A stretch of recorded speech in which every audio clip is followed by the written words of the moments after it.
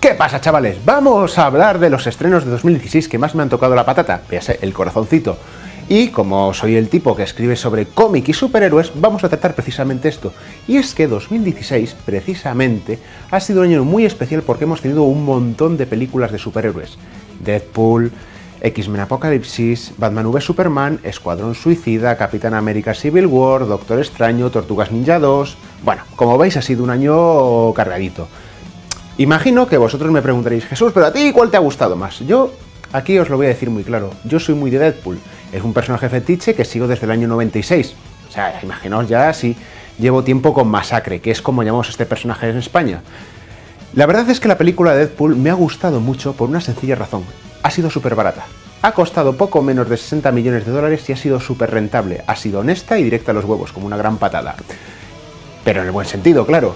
No como otras películas que la esperamos con muchas ganas, pero nos han dejado un poquito, pues, como el cuerpo revuelto, por ejemplo, ese, Vengadores 2.5 que ha sido Capitán América Civil War, que sí que a mí me gustó mucho, pero que luego a tiempo pasado dices, mm, podría haber sido mejor. O es otra película de un señor eh, con problemas de ira que le pega a un inmigrante con problemas emocionales. No me estoy refiriendo a ninguna película del costumbrismo alemán, sino Batman v Superman, una película que además tuvimos que esperar a su versión extendida para que tuviera un maldito sentido. Como veis, bueno, no es que tenga preferencias claras, de hecho a mí me ha molestado bastante que las dos películas que han llegado este año de DC pues hayan sido funestas, cuanto menos. De hecho, es que el buen DC no lo encontramos en el cine, lo vamos a encontrar siempre en animación, como por ejemplo La broma asesina, a pesar de todos sus pequeños vicios, o de las series animadas, que por cierto, no sé si habéis visto el crossover de este año, Invasión, que reúne Supergirl, Flash, Arrow y Legends of Tomorrow, las cuatro series de la CW. Una auténtica pasada. ¿Qué es lo que está pasando? ¿Por qué las series lo hacen mejor que el cine? Pues a lo mejor porque conocen el producto. En cualquier caso, hemos de reconocer que ha sido un año cargadito y muy intenso y vamos a ver qué nos depara el año que viene. Yo desde luego ya estoy con las palomitas y con el calendario listo y preparado para irme a pasar muy bien. Ah, justo me está diciendo que todavía tengo que hablar de lo peor. Joder, con perdón. Deberíais de saber, eh, bueno, mm, que ya está claro que ha sido para mí lo peor. Lo peor ha sido precisamente, y que ha sido para mí una lástima, el hecho de que teníamos dos películas que prometían mucho, que eran la de Batman V Superman y la de Escuadrón Suicida, y que se han quedado ahí, que han sido pues películas que querían pero no podían. Una no tenía muy claro el tono y la historia parece ser que hasta que no pudimos verla en versión extendida no tomó un sentido. Y luego tenemos Escuadrón Suicida, que ha sido pues pues una película de tiros mal hecha, con unos guiones que, vamos, yo no entiendo eso de, de, la Margot Robbie ahí diciendo, ¡eh! No te metas con mis amigos. tía, si los acabas de conocer, ¿qué tus amigos? Pero si hace cinco minutos estabas con el maltratador de tu novio.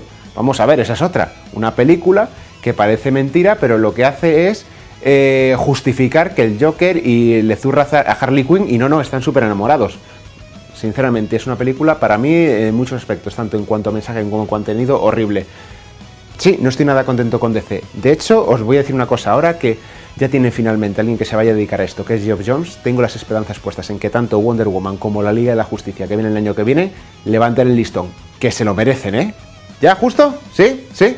Vale, justo me dice que no, que no me vaya cagando leches, que es lo que estoy intentando hacer, sino que os tengo que contar que qué va a ser para mí lo bueno de 2017. ¿Qué va a ser todo, todo. ¿Qué tenemos? Logan, Guardianes de la Galaxia 2, Thor Ragnarok, Liga de la Justicia, Wonder Woman, ¿me dejo alguna? Seguramente. Pero, ¿y todas las series que vamos a tener? ¿Mm? Iron Fist en Netflix, Los Defensores, posiblemente Punisher, más luego el resto de las series de la CW. Si es que vamos a estar a tope, va a ser un año que yo, bueno, como quien dice esta fiesta del superhéroe, espero que no pase por lo menos hasta el próximo año. No sé vosotros, pero yo no me estoy cansando de que finalmente los superhéroes aparezcan en el cine con mayor o peor calidad, pero los tenemos ahí.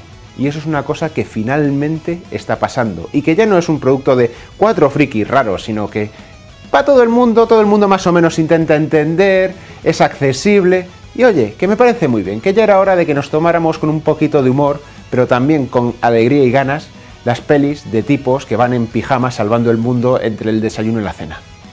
¿Y vosotros, no estáis de acuerdo?